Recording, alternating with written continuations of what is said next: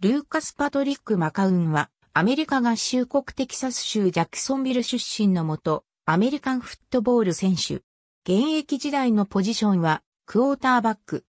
実刑は同じく NFL の QB だったジョシュ・マカウン。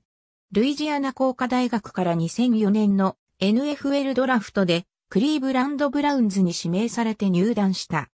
その年4試合に先発出場したが、2005年のドラフト週間の4月24日にタンパベイバッカニアーズにトレードされた。2005年は当初第3 QB であったが、その後第2 QB に昇格した。2006年、膝の全十字靭帯を負傷。この年の出場機会はなかった。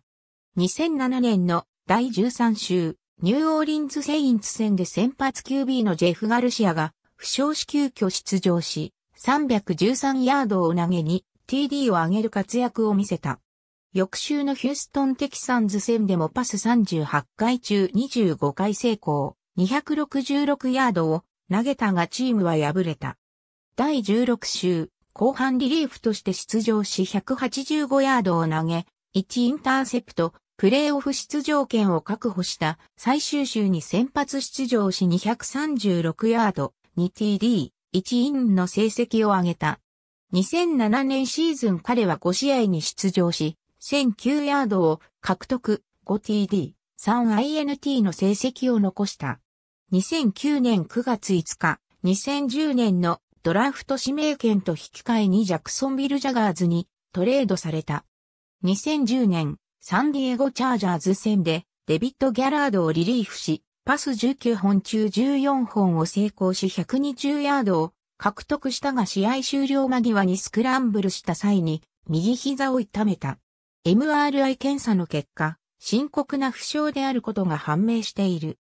2011年、開幕直前にエース QB のギャラードが解雇され、急遽先発 QB に昇格したが、開幕戦でパス24回中17回成功したものの、タッチダウンを奪えず、第2週の試合では、パス19回中6回成功、59ヤード獲得、QB レーティング1.8にとどまった。このため、第3週からは、新人のブレイン・ギャバートに先発の座を奪われることとなった。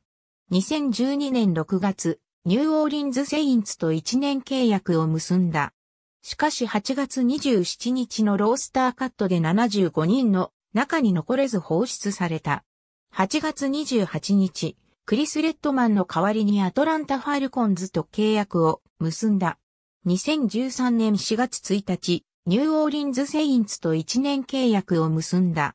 2016年まで在籍したが、ドリューブリーズのバックアッパーという立場であり、2016年シーズンは出場なく終わった。2017年7月、ダラスカウボーイズに加入。しかし、9月2日に放出された。2018年4月20日、引退を表明した。